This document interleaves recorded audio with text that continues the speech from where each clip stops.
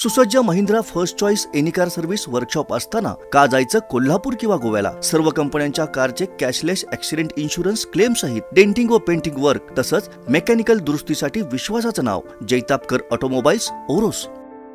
हायवेच्या दुरावस्थेबाबत आणि आमदार नितेश राणेंच्या आंदोलनाला पाठिंबा देण्यासाठी विरोधी पक्षाच्या नेत्यांनी जेलभरो करत सत्ताधाऱ्यांचा निषेध केला.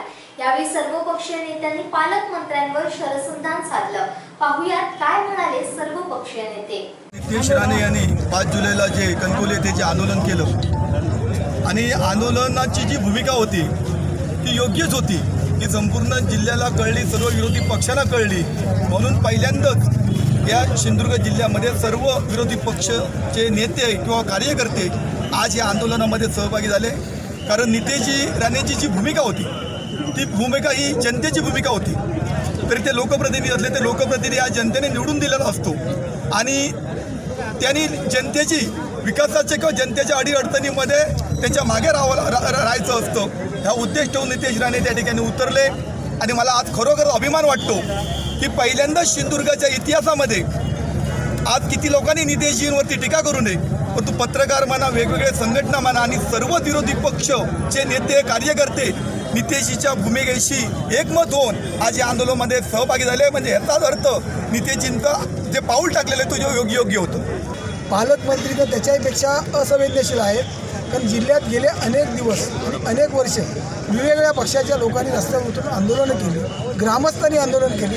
पण ग्रामस्थांच्या आंदोलनाकडे वेळ द्यायला पालकमंत्र्यांना नाही आहे पण मी ज्याप्रमाणे सांगितलं की करार पालकमंत्र्यांनी किंवा आमदारांनी वाचलाच नाही आहे आज कराराप्रमाणे ते रामायण होत आहे. पालकमंत्र्याचं श्रेय नाही आहे ते. ज्या असलेल्या ज्या असलेल्या ज्या सरकारनी जो करार केला शा ह्याच्याबरोबर ठेकेदाराबरोबर त्या करारातल्या तरतुदीप्रमाणे आज ठेकेदार खड्डे भरतो आहे पालकमंत्र्याचं श्रेय नाही आणि पालकमंत्री ते श्रेय घेऊ नये.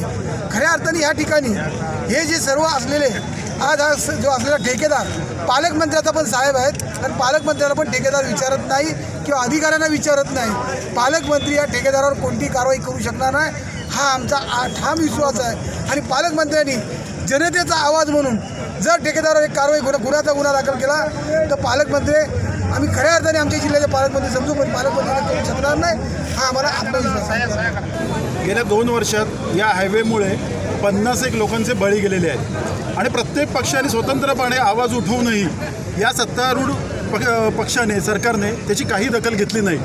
पालकमंत्र्यांनी सुद्धा त्याची काही दखल घेतली नाही ना बांधकाम मंत्र्यांनी दखल घेतली. या उलट बांधकाम मंत्र्यांनी ज्यांनी आंदोलन केलं त्यांच्यावर खुनाचे गुन्हे दाखल करण्याची भाषा केली. याच्यामुळे सिंधुदुर्ग जिल्ह्यातल्या लोकांची अस्मिता जागृत झाली आणि त्यांनी या सरकारच्या विरोधात एल्गार पुकारण्याचा निर्णय घेतला. आणि म्हणून आज हे सर्व विरोधी पक्ष एकत्र येऊन या सत्तारूढ पक्षाच्या विरोधात याच्यापुढे सदैव रस्त्यावर उतरण्याचा इशारा आम्ही आज या आंदोलनाद्वारे देत आहोत. या ठिकाणी अधिकाऱ्यांच्या बैठका आहेत नाही खरं म्हणजे आमच्या लोकांना थूक लावण्याची भाषा करत आहेत. कारण आजपर्यंत जी काही दोन वर्ष आंदोलन चालतात त्या आंदोलनातील एकाही आंदोलनाला न्याय देण्याचं काम केलं नाही. आणि आता ही जनता विरोधात जाईल म्हणून या ठिकाणी पालकमंत्री उतर उतरलेले आहेत. आणि पालकमंत्र्यांना व्यवस्थित साथ. ही भाजपचे बांधकाम मंत्री पी डब्ल्यू डी मंत्री चंद्रकांत दादा पाटीलकर आहेत जे महसूल मंत्री आहेत. कारण आजही कित्येक लोकांना या ठिकाणी रस्ता रस्त्याला जमीन जाऊन सुद्धा पैसे मिळालेले नाहीत. आणि ते पैसे मिळण्यासाठी ज्यावेळी आंदोलन करतात त्यावेळी तीनशे त्रेपन्न सारखे गुन्हे त्या लोकांवर दाखल केले जातात.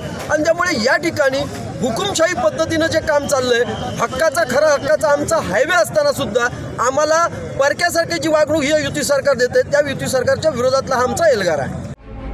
कोकणातल्या ताज्या घडामोडी सर्वप्रथम पाहण्यासाठी सबस्क्राईब करा कोकणचं महाचॅनल सिंधुदुर्ग लाईव्ह यूट्यूब चॅनल आणि ताज्या घडामोडी पाहण्यासाठी बेल आयकॉनवर क्लिक करा.